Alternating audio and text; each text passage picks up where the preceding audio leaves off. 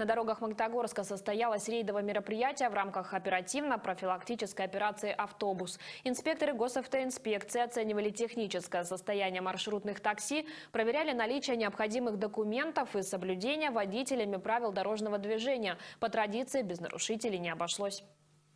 25 экипажей ДПС на самых оживленных участках города следили накануне за безопасностью пассажирских перевозок. Автомобили останавливали один за другим и в каждом втором случае фиксировали нарушения.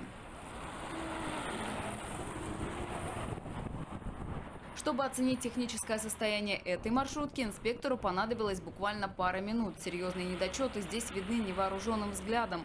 У пассажирской «Газели» явная проблема с правой фарой.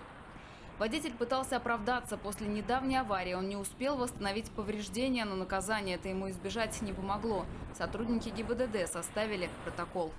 За фары, за фары вот. Почему разбитым фары ездили? Буквально 13 число была авария, вот, позавчера. Я вчера не стал вот с лентой. Меня сказали не трогать, ничего не делать. Я скотчем заклеил, днем там можно, чтобы она рассыпалась. Она-то горит, главное, исправно горит. Ему не понравился. Завтра на осмотр идти, чтобы заменить. Пока не, я не имею права заменить. Коллега Акбара Абдулаева, водитель маршрутного такси Рустам Галин, тоже был вынужден задержать рейс. Инспекторы заметили, что окна в его авто плотно зашторены, что недопустимо. За что остановили? Мне не понравилось, что шторки мне висят.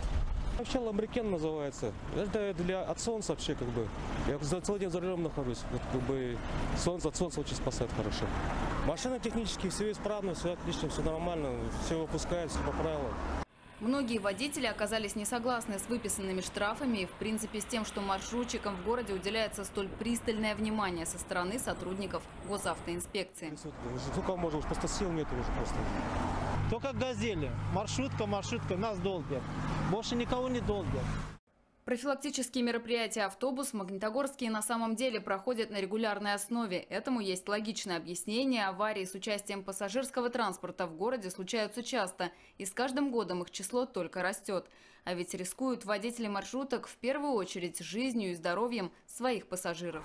С начала года на территории города Магнитогорска 28 дорожно-транспортных происшествий с участием водителей, осуществляющих перевозку пассажиров на транспорте маршрутные.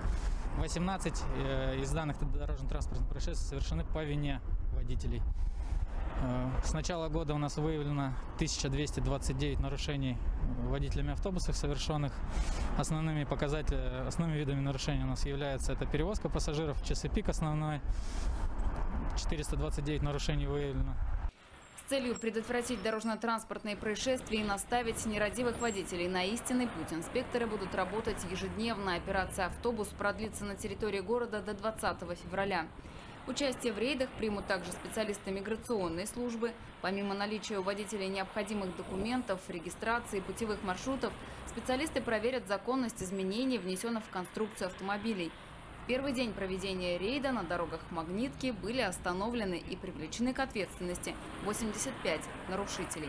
Евгения Салхудинова, Александр Маргунов, телекомпания ТВИ.